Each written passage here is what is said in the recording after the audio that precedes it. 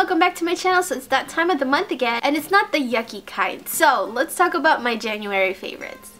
So today I'm going to talk about what's on my face right now. I only have a couple things to show you. The first things are my brows. I have been loving, loving this brow product. I don't know why I never bought it. I've seen it a couple times and I just never grabbed it because I was so scared to try it out. But it's the NYX Eyebrow Gel. This is in Brunette or 03.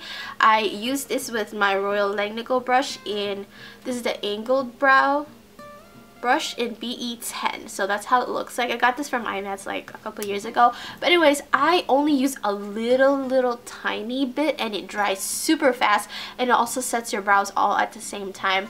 I just picked brunette just because I thought that I'm growing out my hair and I'm gonna try and be brown haired for a really long time because I have some, you know, cosplays that I need to do, but they're all have, you know, they're all gonna have a brown haired based character. So yeah, that's why I'm going for the darker brows. But this is really good. It's waterproof, sweat proof, you know, smudge proof. It's only gonna come off if you use your makeup remover wipes or your, you know, cleansing oil but this is very inexpensive. I believe it was only $5.99 at Ulta and then you get those discounts if you buy you know more than $10 then you get 350 off. So it's an even bigger deal but I really really really highly recommend this. This is very comparable to the Makeup Forever Aqua Brows so without the price tag. I've probably been living under a rock for so long that I just never paid attention to these brushes. I knew that they existed. I've seen them almost everywhere. These are the Real Techniques brushes from Sam and Nic Chapman, also known as Pixiwoo here on YouTube. These brushes have been everywhere. I have just like not bought them because the reason that I didn't buy them is that I've always had my Sigma brushes with me since like what 2010 when I first started my channel so I never really needed any more brushes that's a lot. Everybody needs more brushes because we just go through them like crazy. But I love them. They're super soft. They're also, you know, synthetic. They do not shed. They have not shed with me, you know, washing them constantly and they're still still super soft. I love them so much. I know they came out with like a newer like higher end line like their premium sets but those are like oh my god I can't wait to get my hands on them. So next thing I'm going to talk about is what on my lips today. This is the Jouer lip gloss in Rose Glisten. Now I have had this for a really long time now maybe a year but they're still good because I lost this and I found it again this month when I was like going through my makeup collection.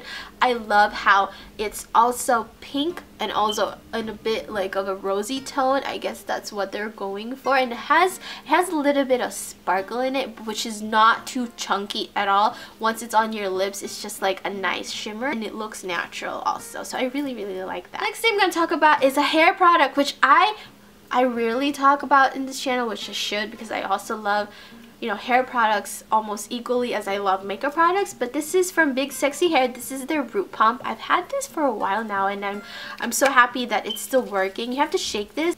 It has like the spray. You do with this is that you put this on the roots of your hair when your hair is still damp, but I like using this also when my hair is like you know, flat and dry. So I put this in the roots as well and it gives it a little bit of texture.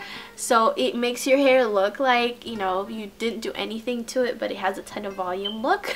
gives my hair a ton, a ton of volume because my hair is super flat without any of these products but this one just gives it the extra you know like the extra oomph last thing i'm going to talk about is probably something oops my hair Last thing I'm going to talk about is an eyeshadow primer from Milani. I don't know if I've mentioned this in favorites video. If I did, it's probably because I just really, really love it. This is a new, a newer tube because these are just great. This is in 01 Nude. This is their eyeshadow primer base.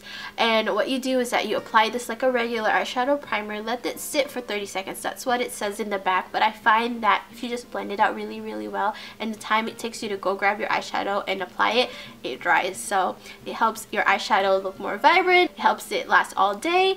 I also think that it's great because it's also very inexpensive. I believe it's between $5 to $6 depending on where you get them. So that's it for my January favorites. It's not a lot because I'm still, you know, using some of the products that I've been using last month. These are just the things that I'm constantly like, oh my god, I need to use that today or, you know, like things I'm really gravitating towards. So I hope you guys liked this video. If you did, don't forget to give this video a thumbs up. Also, if you have any questions or things you want me to review, whether it's makeup, tech, or anything like that, let me know. Also in the comments down below. As always, thank you so much for watching. I will see you guys next time. Bye.